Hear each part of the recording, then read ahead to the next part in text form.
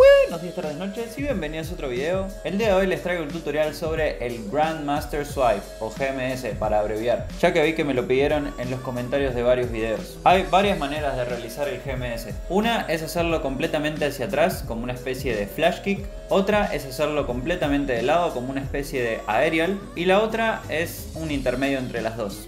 Así que les traje una progresión para cada una de las maneras y cada quien verá cuál le gusta más o cuál se le hace más fácil o natural. Empezando por la primera que es completamente hacia atrás, tiene como prerequisito el cart pop flash kick y realmente lo único que vamos haciendo es intentar poco a poco ir retirando el segundo pie del pop y podemos ir ayudándonos con las manos para no caer completamente de cara.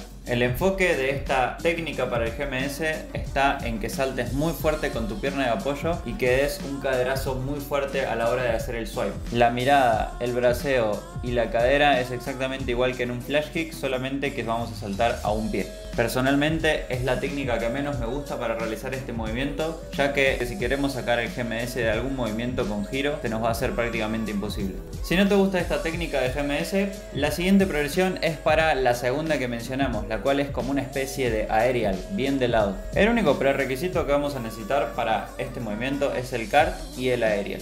Pero la progresión la vamos a iniciar haciendo esto que ven en pantalla. Simplemente iniciamos el kart y saltamos desde nuestro pie de hyper, hacemos esta especie de pataleo en el aire y caemos de vuelta sobre este pie. En esta instancia no nos interesa ningún tipo de inversión, no nos tenemos que acostar ni nada, simplemente hacer este gesto. Una vez que nos salga fácil vamos a empezar a intentar hacerlo más fluido conectándolo bien con nuestro kart. Esto ya nos va a empezar a querer acostar un poquito. De acá lo único que vamos a ir haciendo es intentar bajar un poquito el pecho, intentar acercar un poquito la cara al piso, pero muy de a poco y cada vez intentar elevar un poquito más nuestra pierna del swipe, ayudándonos bastante con el swing de nuestra pierna izquierda para generar altura. Un tip que te puedo dar para esta parte es que no intentes bajar el pecho inmediatamente, sino que saltes con el pecho arriba y una vez que empezás a hacer el cambio con la pierna del swipe, ahí intentes agachar la cabeza, si no vas a salir muy para abajo y no vas a tener nada de altura. Para esta técnica realmente es simplemente repetir este paso intentando cada vez acercar más la cara al suelo y pasar más la pierna por arriba. Prácticamente se siente igual que una aerial,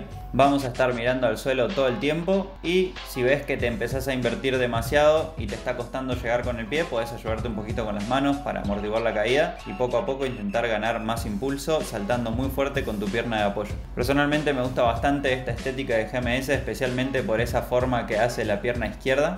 Y por último, la última técnica es la intermedia entre las dos. Y esta técnica la vamos a sacar desde el verdadero predecesor del GMS, el cual es el Master Swipe. Simplemente es hacer un kart, pero saltando solo con el pie derecho, realizando el master swing, apoyando las manos y realizando el swipe. Podés intentar hacer un kart a kart y a poquito ir retirando el pie, o si tenés master scoot, podés intentar hacer kart a master scoot hyper. ¿Cuál es la diferencia entre master scoot hyper y master swipe? Es la pequeña fase de vuelo que hay entre el apoyo de nuestros pies y el apoyo de nuestra mano. Poco a poco lo iría saltando un poquito más hasta que logres el master swipe. Una vez teniendo el master swipe, lo que vamos a intentar hacer es nuevamente intentar retirar progresivamente las manos, enfocándonos en saltarlo cada vez más, manteniendo el pecho un poquito más arriba. Para esta parte hay que ayudarnos bastante con el master swing para elevar la cadera y acelerar mucho la pierna de nuestro swipe. En esta manera de hacerlo es realmente indispensable que realicemos un swipe potente, si no nuestro pie nunca va a llegar al piso y vamos a terminar cayendo siempre con las manos o con la cara.